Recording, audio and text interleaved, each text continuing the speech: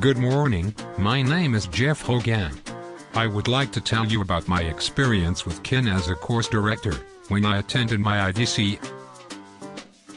The organization of the course was reasonable, flexible, efficient.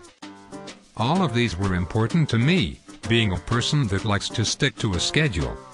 Additionally, the schedule laid all of the course expectations out up front and allowed all of the candidates to always be prepared, setting us up for a greater success.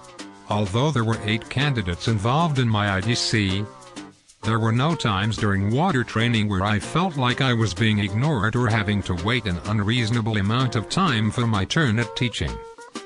Aside from teaching in the water, there was time to hone and sharpen critical skills needed for success at the examination. Classroom material was presented in an enthusiastic manner. Even the driest subjects seemed interesting as presented.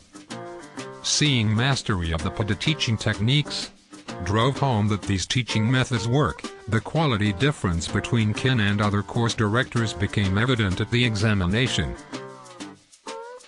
At the exam, Ken's candidates outperformed the others at every step. Ken's candidates made the exam sections look easy. Because, starting with day one of the IDC, we practiced and developed our skills, just as they would be tested in the real world.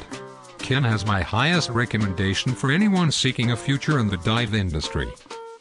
Even after the completion of the examination, he has been enthusiastic helping new instructors. Following my successful IDC and exam experiences, I look forward to continuing my own dive education with Kenneth. Thank you for your time. This is Jeff Hogan speaking to you from Guam.